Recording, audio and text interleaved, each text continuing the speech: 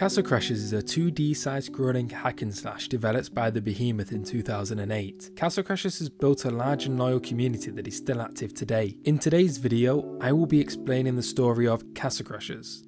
All is calm and well in the kingdom until one day the barbarians attack. Caught off guard, the knights of the kingdom try their best to fend off the enemy invasion, but they are outnumbered and unprepared. Down in the barracks, more of these knights are relaxing until one of the grey knights gets knocked down the stairs. This immediately causes panic in the barracks as everyone rushes out to see what is happening. Just then, an evil wizard arrives at the castle and confronts the king. Using his magic, the wizard steals the king's crystal and flies away. The king then commands his four most loyal and best knights knights. This being the Green Knight with his toxic fumes, the Red Knight and the power of lightning, the Blue Knight and the power to freeze, and the Orange Knight with the power of fire. Immediately, the knights get to work with clearing out the barbarians from the castle. They soon find out that it was not only the king's crystal that was stolen, but the four princesses of the kingdom too. After saving the few soldiers and civilians they could, they visit the blacksmith, a former knight of the king, now retired to provide weapons for the knights of the kingdom. They soon enter no man's land, caught between the chaos of the castle knights and the barbarian soldiers, they fight their way through the land, defeating one of the barbarian war vehicles. The knights eventually reach the barbarian base and encounter the barbarian boss, the one leading the attack. Here they also find the four princesses tied up. They try their best to defeat the barbarian boss and save the princesses in time, but it was too late, as during the fight, three out of the four princesses were taken. But not all was lost, as after defeating the barbarian boss, they managed to save the first princess. After saving the first princess, the knights visit the dock.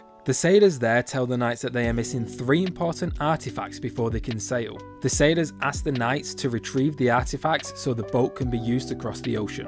Following the trail of the princesses, they see a guy and his soldiers take one, so the knights follow the princesses and end up in a forest. Whilst fighting their way through the forest, the knights come across these weird creatures that live deep in the trees. These are called trolls, and whilst going through the forest, the knights cannot help but notice a large thud nearby, causing the local wildlife to be terrified. Up ahead, it becomes apparent where these trolls are coming from as the knights face the troll mother. After defeating the troll mother and her children, the knights find out what was causing the thudding from earlier. A ginormous troll erupts and angrily chases the four knights as they use dares to get away. The knights eventually fall off the old mill, landing in the river below. The princesses are then seen in the background, being taken further away. The knights use the river to quickly catch up with the princesses and are soon joined by the knight and his soldiers on their warship. However, a bear riding a catfish surfaces and attempts to defeat the knights and the king, but by using the king's warship, the catfish is defeated. Eventually, the knights reach dry land and progress onwards, leaving the king and his soldiers to prepare catapults for later use. Here, the knights come across a clan of bears, although the bears don't seem to be part of the evil wizard's army. They are still hostile, however, so the knights have no choice but to defeat them and their leader. Up ahead, the knights see two of the princesses being taken away by two mysterious figures. The knights are forced through a cave in order to reach the other side. In this cave, they encounter a giant bat, but it is quickly defeated. On the other side of the cave, the knights find the industrial castle and one of the princesses. The industrial prince then reveals himself as the person earlier taking the princess. A giant sheet of metal is blocking the entrance to the castle, so for now, the knights cannot gain access. Looking for options, the knights notice a commotion at a nearby chapel. Upon further investigation, the knights find one of the princesses being forced into a marriage by an unknown groom. The knights defeat the groom, only to find out that the Cyclops was using the toilet and was the figure seen earlier taking one of the princesses. Out of anger and sadness for defeating the Cyclops' friend, the Cyclops grabs the princess and escapes down an elevator. Using the groom's cannon, the knights launch themselves onto the groom's carriage, meant to celebrate the wedding. However,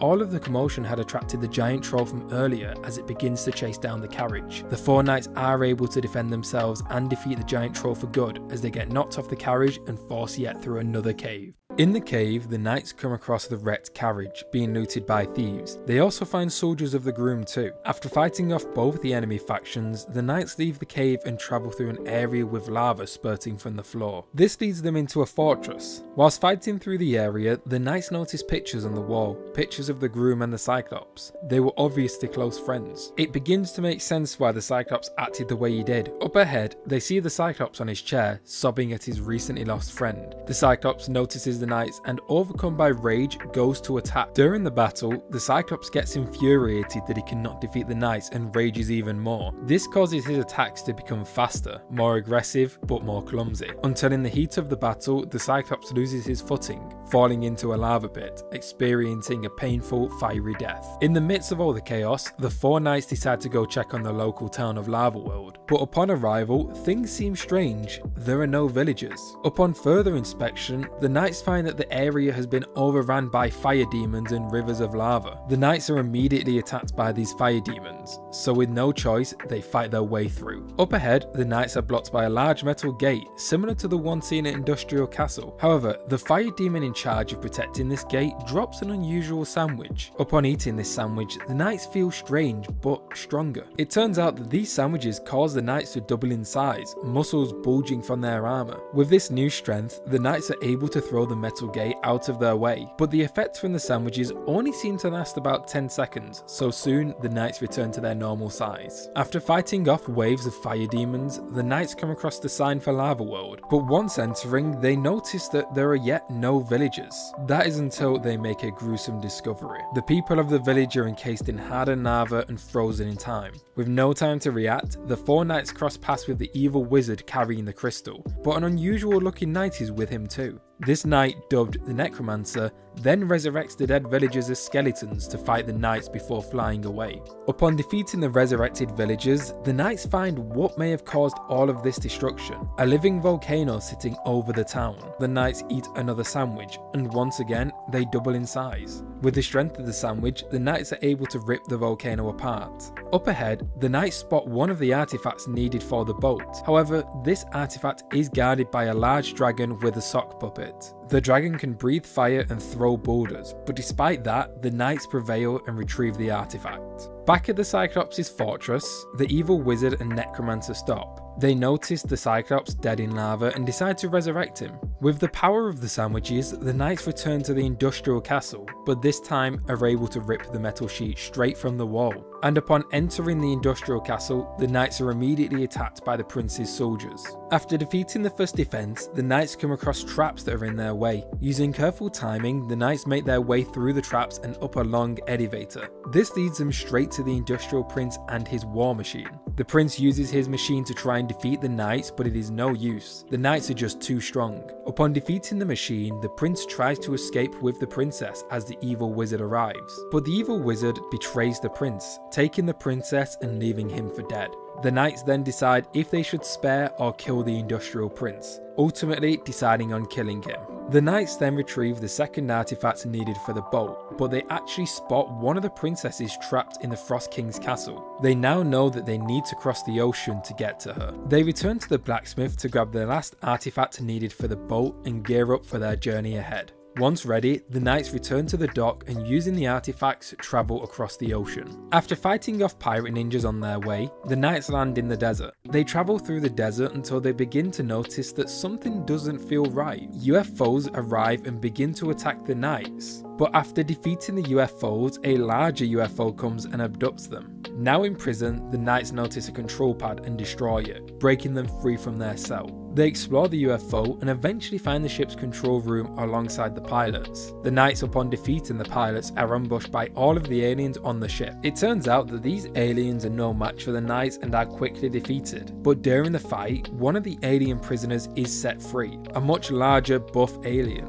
He runs to the ship's control pad and smashes it, causing the ship to enter self-destruct mode. In a panic, the knights quickly rush through the ship to make it to the escape pods and luckily make it in time. Landing back in the desert, the knights leave the escape pod and once again begin their journey through the desert. They eventually find themselves in a large sandcastle and fighting their way through, end up in a volleyball game. Deciding to join in, the knights play volleyball with the enemy and after using some dirty tactics, manage to beat the enemies with 10 points. The enemies then reward the knights with a map that would lead them through the desert. The knights arrive at an old temple blocked by a stone gate. Upon further inspection, the knights notice that the gate has a horn with corn on it. Using this, the knights decide to check out the cornfield nearby. On the way, the knights come across the necromancer once again. The necromancer then resurrects the dead to fight the four knights before flying away. After defeating the necromancer's minions, the knights make it to the cornfield. they encounter a giant corn that seems to have come alive. The corn surprisingly puts up a good fight against the knights as it takes them a while to defeat, but upon defeating it, the local villagers reward the knights with a horn.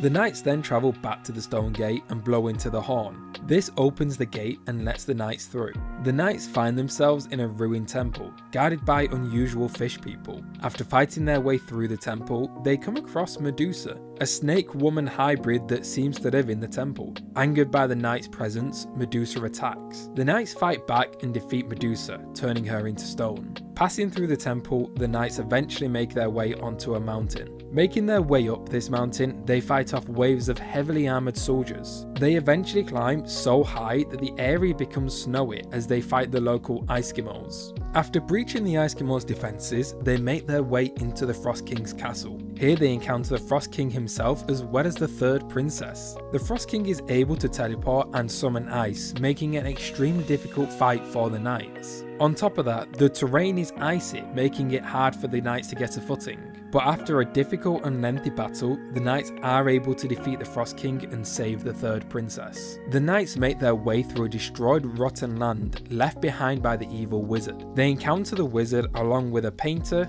the resurrected Cyclops, and the necromancer. The wizard's temple then begins to float, so the knights pursue. Upon landing on this floating temple, the knights enter. They are greeted with the evil wizard's cult minions, beings that have devoted themselves to the wizard and his plans. After defeating the cult minions, the knights are greeted with four portals. They enter the first and are greeted by the painter, an unusual being that is able to control the paintings that it makes. The knights eventually destroy all of the paintings and defeat the painter and in a room nearby, the knights destroy a crystal that was being protected. This unlocks the second portal. Upon entering this portal, the knights face off with the Cyclops once again, now carrying the coffin of his dead friend. And during the fight, the groom's corpse actually attacks, presumably brought to life by the necromancer. The knights realise, however, that the Cyclops and Groom are not fighting on their own terms, potentially being controlled by the Necromancer. So after putting them both out of their misery, the Cyclops and Groom's soul can finally rest. Once again, the knights destroy a crystal and move on to the third portal.